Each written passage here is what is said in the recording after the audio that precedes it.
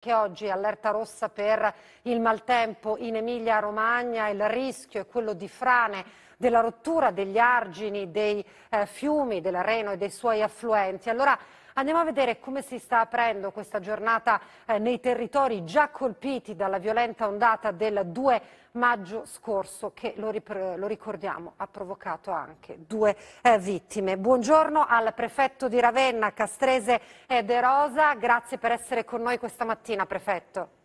Sì, allora, buongiorno anche a lei, buongiorno. Allora, lei chiaramente ha il quadro Spero completo della situazione per il suo territorio, ci dica com'è andata questa notte e come si apre la eh, mattinata nella Ravennate. Guardi, temevamo molto questa notte, fortunatamente la perturbazione si è spostata verso nord, le precipitazioni si sono un po' affievolite, l'allarme idrometrico che temevamo molto è stato scongiurato, quindi fortunatamente una buona notte. Ecco, eh, andiamo su, eh, sulle situazioni eh, di maggior rischio, no? lo dicevamo, i fiumi e il rischio frane.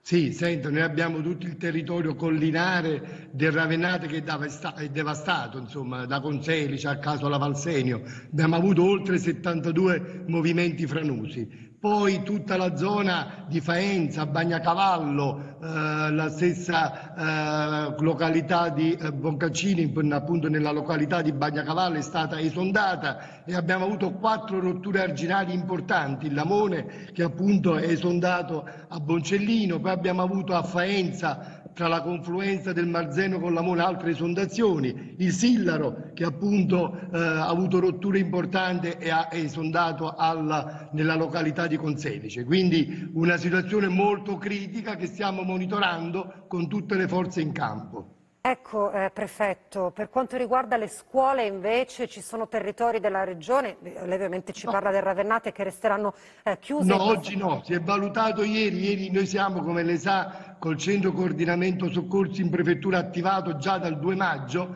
quindi in collegamento continuo con i COC comunali, i centri operativi comunali. Ieri intorno alle 20 abbiamo fatto un punto di situazione, abbiamo deciso insieme ai sindaci che oggi le scuole apriranno regolarmente. Quindi quindi non ci sono problemi per le scuole. Bene, questo è un dato eh, importante soprattutto per i ragazzi e per le famiglie. Certo, che indicazioni certo. si sente di dare ai cittadini? Mi sento di dire oggi sarà un po' dalle condizioni meteo che abbiamo avuto dal centro Arpae di Bologna, oggi è una giornata un po' di tregua, ma già da venerdì e il prossimo weekend la situazione ripeggiorerà di nuovo. Quindi massima allerta, noi siamo mobilitati con tutto il sistema di protezione civile regionale, provinciale e comunale, con i nostri vigili del fuoco in massima forza, con uomini e mezzi sui territori.